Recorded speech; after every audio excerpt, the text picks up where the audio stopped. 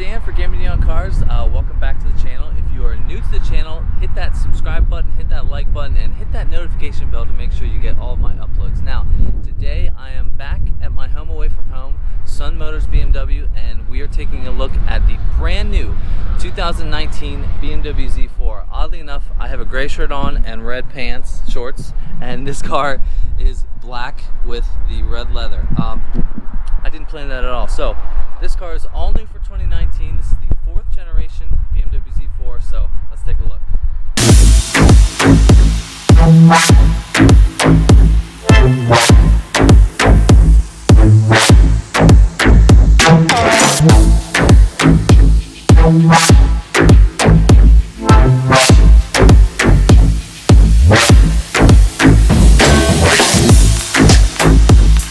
Now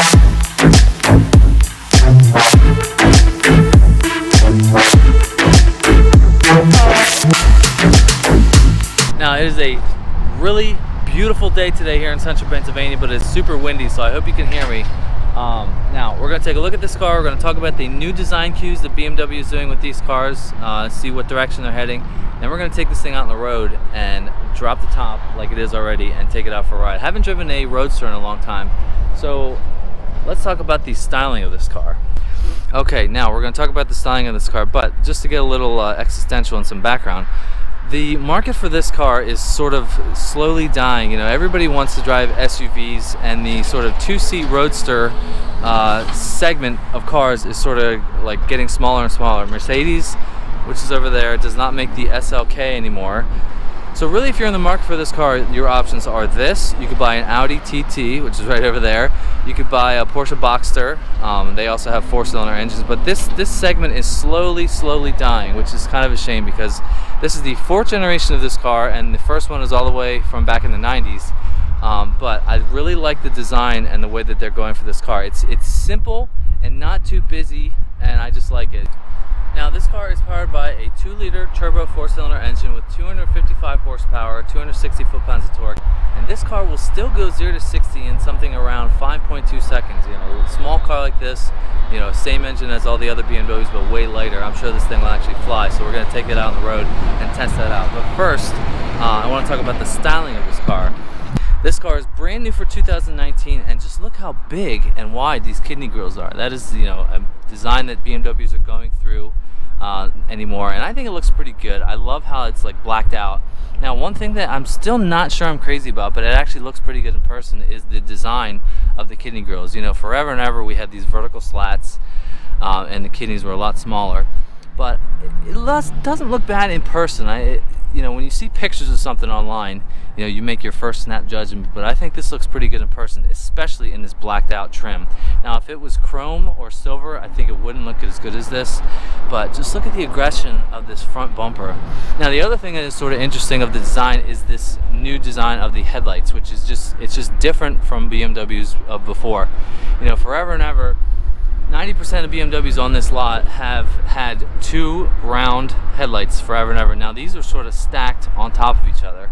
Um, the LEDs, as you see right there, looks pretty good. It's just they, they have more of a rounded look and stacked on top of each other. But overall, I think it looks really good. This car looks absolutely gorgeous in the black with the red leather and the black wheels. These are good looking wheels. I've always loved five spoke uh, double five spoke uh, wheels. These are Michelin Pilot Sports, the best tires on the market. Uh, if you're looking for tires, get Michelin. I have some on my Mazda and I absolutely love it.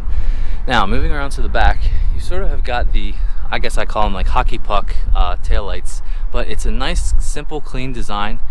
One thing that when the turn signals are on, all this is illuminated. It's like two dashes going this way, which is interesting. I, I feel like the government still lets people do that and don't have a separate uh, turn signal.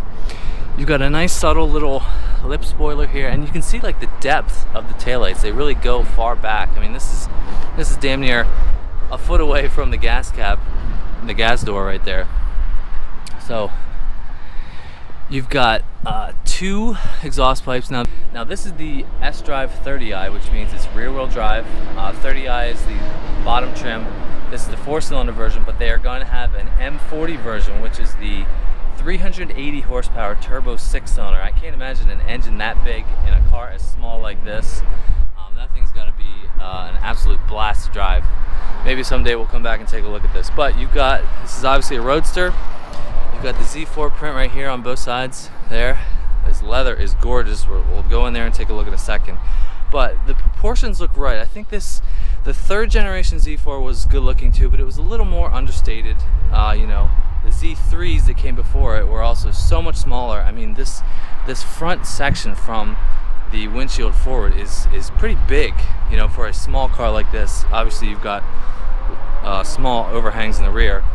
But as far as the design goes, I really I really like it. I, I don't think it's too flashy. They've gone a little bit different route with the headlights and the kidneys, but in this blacked out trim, I think it looks great. All right, so let's take a look uh, under the hood. Now this is the 2 liter twin power turbo. That name is a little bit deceiving because it's only a single turbo, but look at all this room you've got in front of this four cylinder. I'm sure that is so you can fit the inline six cylinder of the M3 or the M40 engine here, but I wonder I wonder if they could fit a V8 in here. Can you imagine this car with uh, BMW's V8 in there? That would be awesome. But yeah, very clean, nice and simple. Not much to see in these engines. I just always like to look at the trim. You know, this this part of the engine has been here since the 70s. The the single lines in the BMW. It looks really good. So yeah, that is the engine. I'd also like to mention when when you open the hood on BMWs, you do it twice, and then you don't have to find any latch or anything underneath. You just pull under and you pull it up. It's kind of nice that you don't have to go searching for a latch, or you know, it's a new car, you don't know where it is. So kudos to BMW for that. That is a nice feature. All right, now let's take a look at the interior design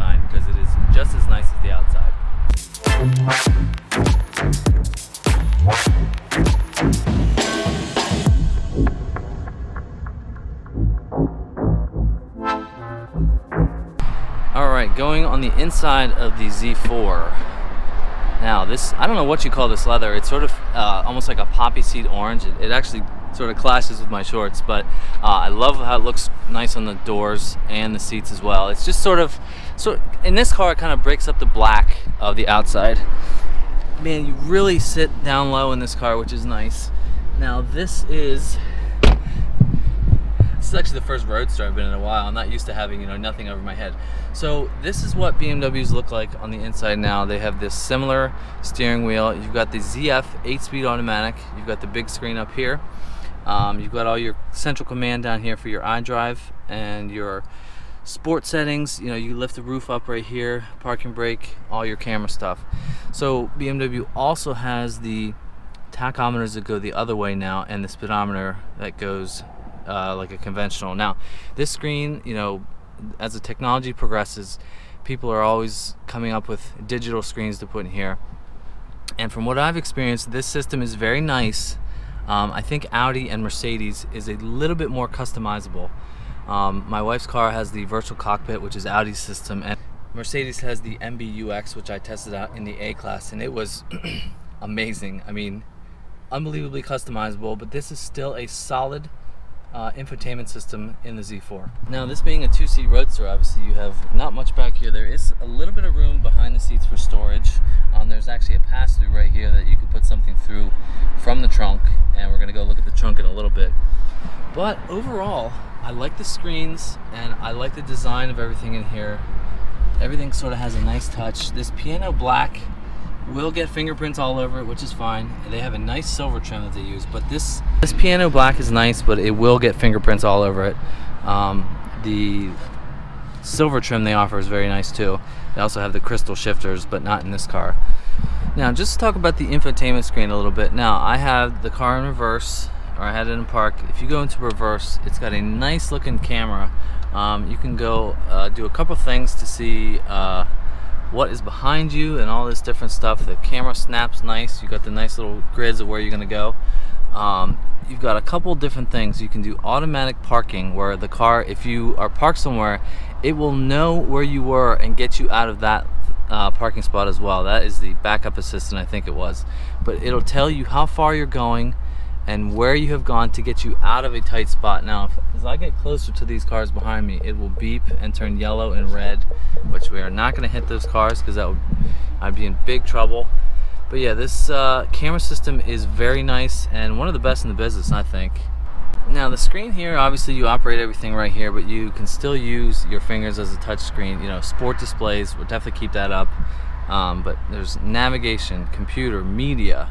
Um, the screen looks very nice, very responsive, feels like a you know smartphone. Um, map, it's huge. This is like a 10 inch screen, looks very nice. Pixels look very nice to go along with this screen too. Everything is, we're getting closer to everything being a digital screen, which I'm completely fine with.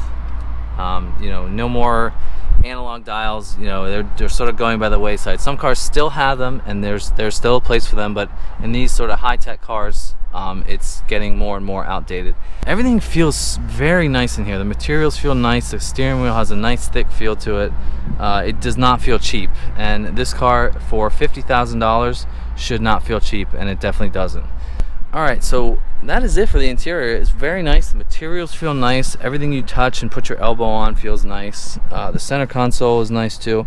Now, the reason that the center console is not, you know, symmetrical is because this is where the cup holders are. So if you have your coffee or something in here, you can open this side up and close this side. You know, put your arm on when you're driving in the car. So that's that's something nice. There's there's not much room up here for cup holders, so they stow it in the center armrest here. Looks a little funky when it's closed because it's not exactly symmetrical, but that is where you put your uh, Mountain Dews. Now this is a Roadster, so we gotta put the top up just to see how that operates. I'm pretty sure you can operate the top and open and close in about 10 or 11 seconds, so let's try that out.